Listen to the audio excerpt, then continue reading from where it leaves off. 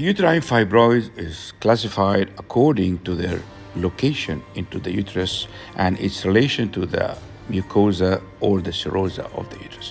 When the myoma is attached by a pedicle with all myoma is bulging into the cavity is type 0. When more than 50% of the myoma bulge into the cavity with less intramural part is type 1. With more deep myoma with more than 50% deep intramyometrial is type 2.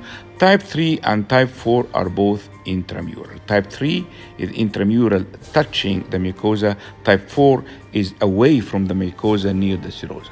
When bulge less than 50% out of the serosa is type 5, with more than 50% bulge out of the serosa is type 6, and when the myoma is pedunculated subserous is type 7. So these are the classification of fibroid according to the FIGO, depends on the geographical location and its relation to the serosa and the mucosa. But sometimes we meet a case of myoma bulging from the serosa and the mucosa is type 2 to type 5.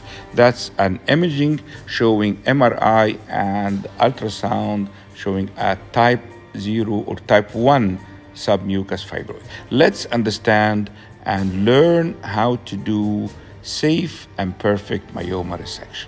This is a type 1 submucous fibroid. You see most of the myoma mass bulging into the cavity of the uterus, but still there is little, less than 50%, I can say uh, 20% of the myoma is deep intramyometer.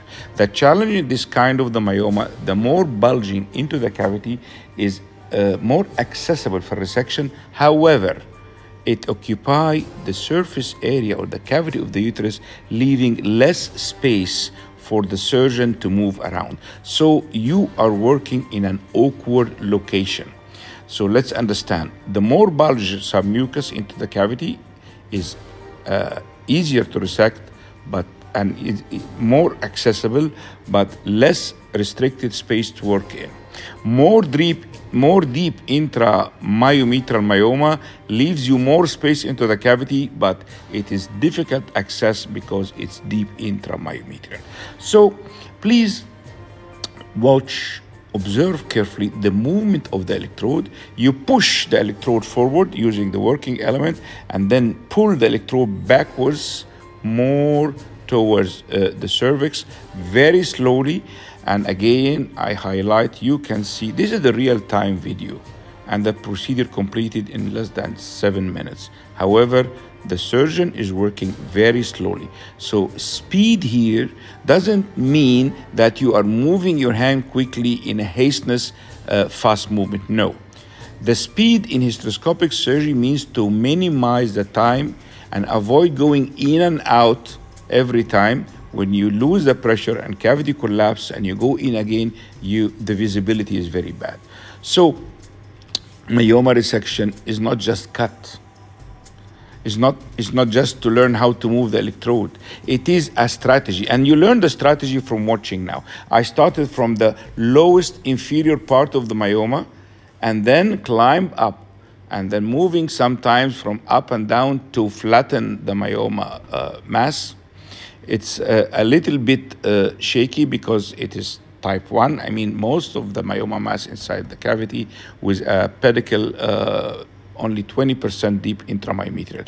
The art of myoma resection is not only in cutting, but in how to deal with this uh, uh, cut chips, which uh, sometimes make the cavity crowded. So how to deal with them and move them, push them to one side and keep on working is by using the electrode to push it to one side, also to direct the tip of the uh, and use the fluid jet to push this cut piece to one side like I'm doing now. Push it to one side and keep working. This, what does it mean? Speed and fast in hysteroscopy is to minimize the time. Uh, time is important because of the worry of fluid absorption. Let me stop and show you here. I changed my strategy now to cut, to cut exactly in the middle, bisecting the myoma into two halves. This is one half, and using the backward movement with avulsion and detachment, now it's fully detached, and then move to the other half.